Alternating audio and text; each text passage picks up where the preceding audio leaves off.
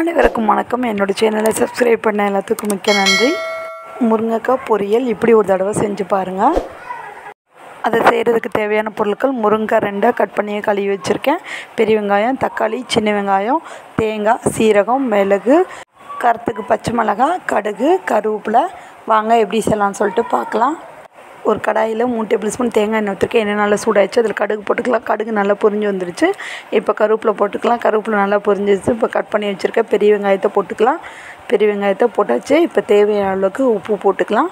உப்பு போட்டுட்டு நல்ல பெரிய வெங்காயத்தை கோல்டன் ப்ரௌன் கலரில் ஆகிறந்தாட்டிக்கு நல்லா வதக்கி விட்டுலாம் நல்லா வதக்கி விட்டுட்டு காட்டுறேன். பெரிய வெங்காயம் நல்லா வதங்கி வந்துருச்சு. இப்போ நம்ம தக்காளி ஆட் பண்ணிக்கலாம்.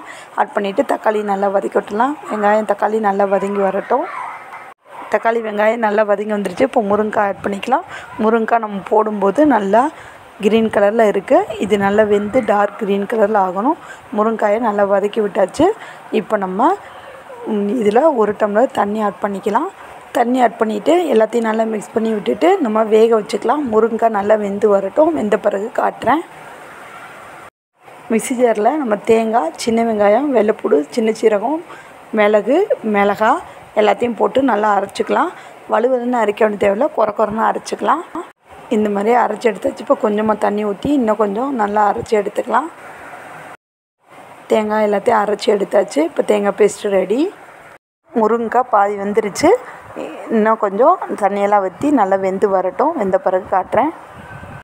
முருங்கைக்காய் நல்லா வெந்து வந்துருச்சு. நம்ம போடும்போது க்ரீன் கலர் இருந்துச்சு. இப்போ டார்க் க்ரீன் கலரில் மாறி வந்துருச்சு. இப்போ நம்ம வச்சுருந்த நம்ம அரைச்சி வச்சுருந்த தேங்காய் பேஸ்ட்டை இதில் போட்டுக்கலாம். போட்டுட்டு நம்ம நல்லா மிக்ஸ் பண்ணி விட்டுடலாம் தேங்காய் பேஸ்ட்டை போட்டாச்சு போட்டுட்டு நல்லா எல்லாத்தையும் மிக்ஸ் பண்ணி விட்டுடலாம் முருங்கைக்காய் தேங்காய் எல்லாத்தையும் நல்லா மிக்ஸ் பண்ணி விட்டுட்டு நல்லா தேங்காய் ஒரு கொதி வரட்டும். அது வரைக்கும் நல்லா நம்ம கொதிக்க வச்சுக்கலாம். தேங்காய் முருங்கைக்காய் எல்லாம் நல்லா மிக்ஸ் ஆகி ஒரு கொதி வந்துருச்சு. இப்போ முருங்கைக்காய் பொரியல் ரெடி இது மாதிரி ஒரு தடவை செஞ்சு பாருங்கள் செஞ்சு பார்த்துட்டு எப்படி இருக்குன்னு சொல்லுங்கள் இதோட அளவுகள் எல்லாமே டிஸ்கிரிப்ஷன் பாக்ஸில் கொடுத்துருக்கேன். செக் பண்ணி பார்த்துக்கோங்க. தேங்காய் டேஸ்ட்டு பிடிச்சவங்களுக்கு இது ரொம்ப பிடிக்கும். புளிக்குழம்போட ரசத்தோடு வச்சு சாப்பிட்டா செம்ம டேஸ்ட்டாக இருக்கும்.